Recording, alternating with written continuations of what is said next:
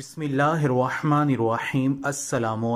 Online Islamic tutor channel में खुश आमदीद मैं उम्मीद करता हूँ कि आप तमाम लोग अल्लाह तबारक व ताली के फजल करम से खैर अफ़ीत से होंगे। आज मैं जुम्मा के दिन दो रकत नमाज़, सलातुल हाजत का एक ऐसा मुजरब अमल एकराज रुआ हूँ। अगर ये अमल मेरी वो बहनें और भाई कर लेते हैं जो कि अपने दिल में कोई भी बहुत बड़ा मकसद रखते हैं, चाहे वो मकसद किसी भी हवाले से है इन ताला आज जुम्मा के दिन ये अमल करने से उनका हर बड़ा मकसद पूरा हो जाएगा।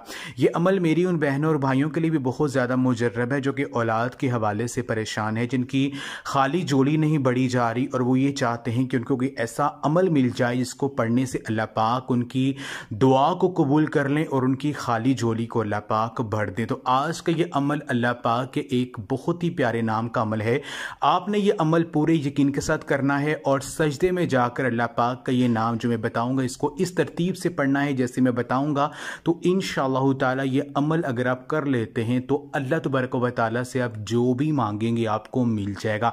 ये एक नहायत ही ख़ास और मुजरब अमल है।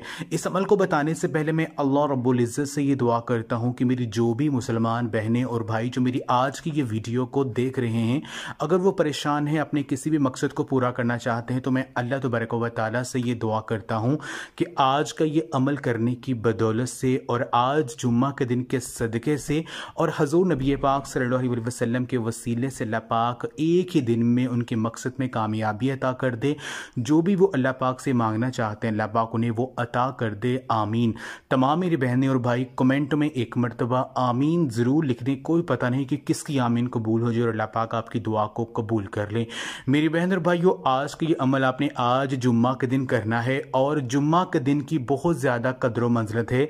जुम्मा के दिन के हवाले से हजूर नबी करीम अलैहि वसल्लम का फरमान है कि जो शख्स जुम्मा के दिन असर की नमाज़ के बाद उठने से पहले अस्सी मरतबा ये द्रुद पाक पढ़ेगा तो इसके अस्सी साल के गुनाह मुआफ़ हो जाएँगे और अस्सी साल की इबादत का सवाब मिलेगा। द्रुद पाक ये है, अल्लाहुम्मा सल्ले अला मुहम्मद नबी उम्मी वाला तस्लीमा। ये दूध पाक जो अगर आप जुम्मा के दिन अस्सी मरतबा पढ़ते हैं तो अल्लाह पाक जो है आपके अस्सी साल के गुनाहों को मुआफ़ कर देंगे और आपके अस्सी साल की इबादत का जो स्वाब है वो आपको मिल जाएगा। तो कोशिश करें कि जुम्मा के दिन जितना ज़्यादा हो सके कसर के साथ हजूर नबी करीम वसल्लम की बारगाह पर दरुदो सलाम का जो नजराना है वो पेश करें और अल्लाह तबारक व से उनके वसीले से मांगे, यकीन कीजिए आप जो भी मांगेंगे आपको मिल जाएगा। तो आज का ये जो अमल है, ये अमल दो रकत नमाज़ सलातुल हाजत का अमल है। इस अमल को आप आज जुम्मा के दिन किसी भी वक्त जो आप इस अमल को कर सकते हैं। बस पूरे यकीन के साथ ये अमल करना है और आपने ये अमल बावजू होकर करना है। आपने करना यह है कि आपने दो रकत नमाज़ सलातुल हाजत आपने पढ़नी है। यानी नीयत आपने दो रकत नमाज़ सलातुल हाजत करनी है। हर रकत में आपने पहली जो रकत होगी उसमें एक मरतबा सुदफातिया पढ़ने के बाद आपने एक मरतबा आयतिल कुर्सी पढ़नी है।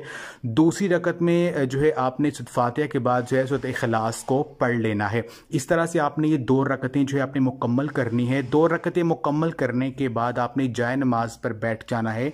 आपने पहले ग्यारह मरतबा द्रुद जो भी आपको आता है वो पढ़ लें। उसके बाद आपने अल्लाह तबरक व का ये इसम आज़म या हादियू।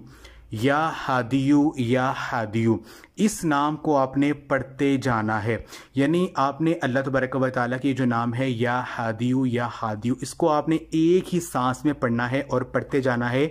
जब आपका सांस टूट जाए तो आपने फ़ौरन सजदे में चले जाना है। फ़ौरन सजदे में जाकर आपने अल्लाह तबरक व ताली के इसी नाम को आपने तैंतीस मरतबा, थर्टी थ्री टाइम्स आपने पढ़ना है। जैसे आप सजदे से उठ जाएँ जय नमाज़ से बैठ जाएँ, फिर आपने दुरुद पाक पढ़ना है, ग्यारह मरतबा, और फिर आपने एक तस्वीर अल्लाह तबरक वाली के ये दो इसमें आज़म या अरहमर राहिमीन ए बेहद मेहरबान और नहायत रहम करने वाले। अल्लाह तबरक व के इन दो इसम मुबारक की आपने एक तस्वीर जो है सौ दानों वाली आपने करनी है और आखिर में अल्लाह पाक से आपने पूरे यकीन के साथ आपने दुआ करनी है।